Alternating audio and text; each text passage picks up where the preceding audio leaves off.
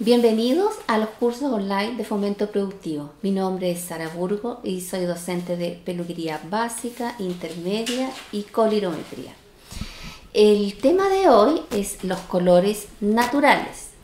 Acá encontrarán los enlaces de las clases anteriores en el pie del video. Estaremos respondiendo a todas sus dudas y consultas por chat que está a la derecha de su pantalla.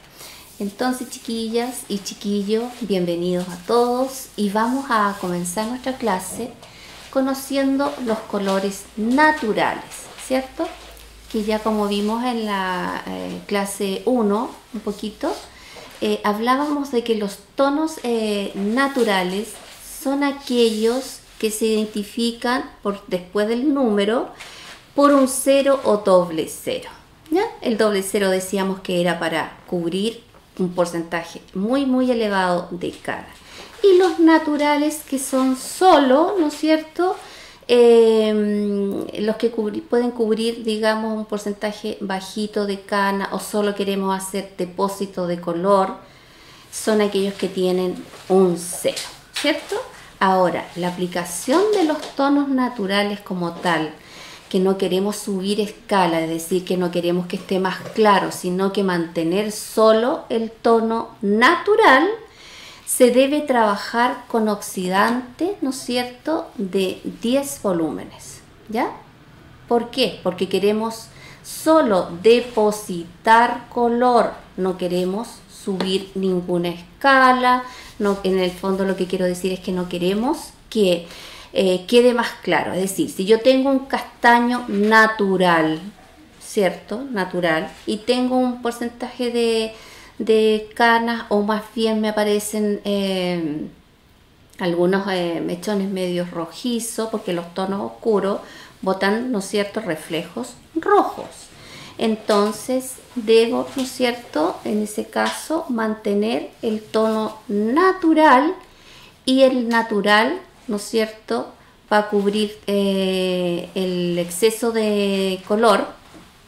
Y también en ese caso usaríamos, por ejemplo, una altura 6, ¿no es cierto? Una altura 6, que es un rubio oscuro, ¿no es cierto? Natural, ¿ya?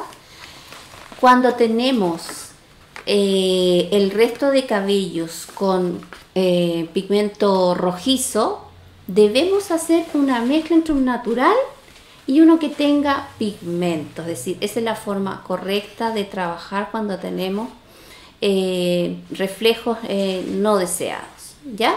Lo importante en esta clase que quiero dejar eh, bien en claro es que los colores naturales son aquellos que se denominan, ¿no es cierto?, con un cero, ¿ya?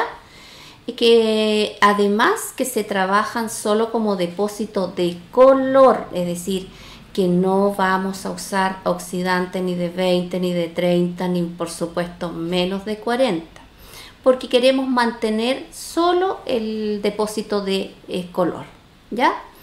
Habitualmente los naturales, ¿no es cierto?, se dejan su tiempo de posee, es decir, de exposición, 35 eh, minutos. ¿Ya?